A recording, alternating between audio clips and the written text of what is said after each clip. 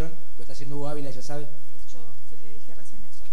Está mejor, está más tranquila, tuvo una fuerte crisis nerviosa, Ya lo sabemos, escuchamos los gritos, todo. estábamos ahí todos abajo y ahora está tratando de recuperarse para poder grabar el segundo. Puntualmente, ¿qué fue lo que lo hizo a ella cruzarse todo el edificio por arriba? Vos sabés que fue por un camino que solamente conocemos los que trabajamos acá.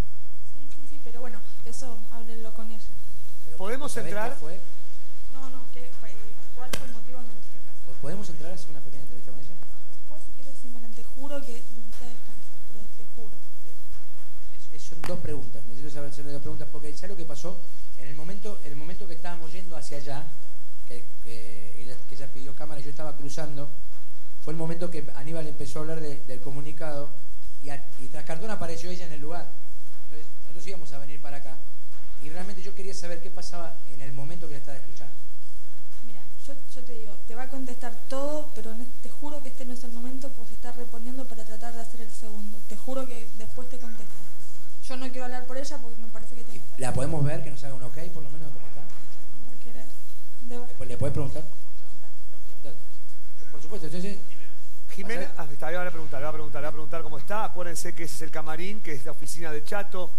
Eh, ubicanos bien, porque nosotros lo conocemos de Sí. memoria esos pasillos, pero ubicanos Sí, sí, bien, sí, abrí sí, un poquito el plano para que la gente sepa dónde estamos, porque todo lo que tuvo que eh, recorrer. esta es la recepción de, de- de Ahí está, todos los que nos siguen es el programa de María. diariamente. Exactamente, esta es la recepción de, la- de las oficinas de producción, eh, esta es la oficina del cuartel general del Chapi F, acá sigue la oficina de Pipo de, de operaciones. Que ahí donde nos metemos para pispear, que ahora yo diría, chicos, que no lo Hay una hagamos. persona No, de seguridad, no, no, no. puedo, hay una persona de seguridad puesta por Graciela, no puedo, no puedo pispear nada. No, pero está bien, no, no, no tenemos que ahora hacerlo, porque si está, está descompuesta, vamos.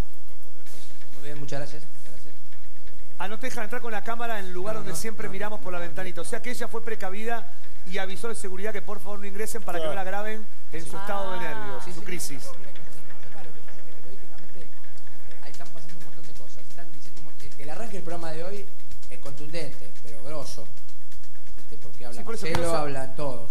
No, no, hablan Entonces, todos, habla Flavio, habla Moria, habla Aníbal, Sí, por supuesto. sí. Eh, Pero lo que no sé si habló Marcelo, ¿eh? no desconozco, no, no lo vi. Tine- Tinelli decís, a ver. porque- Cortó con su doctora y le pidió que no hable con nadie, que no des notas, que se tranquilice, que es lo mejor que puede hacer en este momento.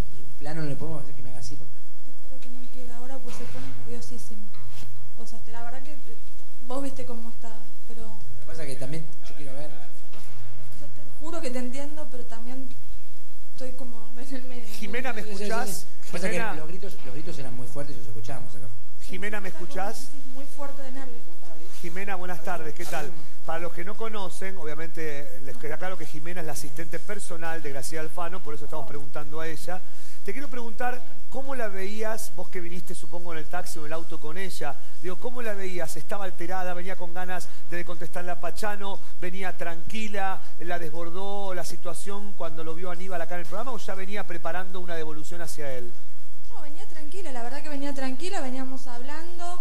eh, me parece que detonó lo que estaba, la acumulación de, de escuchar cosas en todo Claro. este tiempo. Perdóname que te contradiga. Jime, pero ella tuiteó dos horas antes de llegar al programa que estaba viniendo para, para acá y puso prepárense.